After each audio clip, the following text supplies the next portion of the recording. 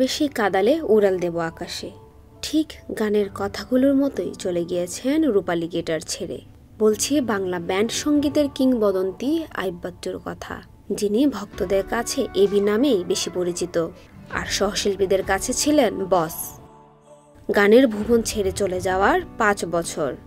এখনও ব্যান্ড জগতে তার শূন্যতা পূরণ হয়নি। এশিয়ার গিটার লিজেন্ড খ্যাত এই কিংবদন্তি অগণিত ভক্তকে কাঁদিয়ে দুই হাজার আঠারো সালের আঠারো অক্টোবর পাড়ি জমান না ফেরার দেশে। আমি তো প্রেমে পড়িনি।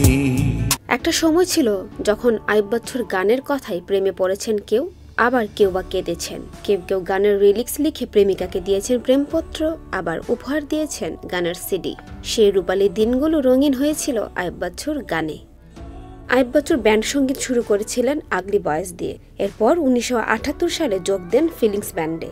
উনিশশো আশি সালে সোলসের সঙ্গে তার শুরু হয় পথ চলা উনিশশো সালের পাঁচ এপ্রিল গঠন করেন ব্যান্ড দল এলআরবি সেই তুমি ফেরারি মন রূপালী গিটার কষ্ট পেতে ভালোবাসি। এখন অনেক রাত, কেউ সুখী নয়। হাসতে দেখো, গাইতে দেখো, তিন পুরুষ, ঘুমন্ত শহর, তারা ভরা রাতে। উড়াল দেব আকাশে সহ অসংখ্য জনপ্রিয় গান রয়েছে।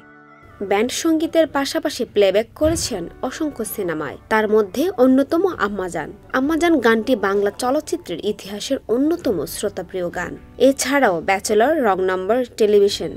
এক কাপ চা, সাগরিকা চলচ্চিত্রে গান গেয়েছেন। ক্ষণজন্মা এ রকস্টার জীবনের শেষ দিনেও গানের মঞ্চ ছাড়েননি। অসুস্থতাকে পাত্তা না দিয়ে করছিলেন দেশব্যাপী কনসার্ট, কারণ তিনি বিশ্বাস করতেন, the show must go on. এমনই এক কনসার্টে ভক্তদের মাতিয়ে পরদিন সকালে চলে গিয়েছিলেন সবাইকে কাঁদিয়ে। আয়ুব বাচ্চুর চলে যাওয়ার এত বছর পরেও তার ভক্তদের ভালোবাসা একটুও কমেনি। তিনি বেঁচে আছেন কোটি ভক্তের হৃদয়ে। এখনও কারও রূপালী গিটারে বেজে আসে তার না বলা কথাগুলো। মুসাদ শৈলী, চ্যানেল আই, অনলাইন। তুমি কেন এত অচেনা হলে?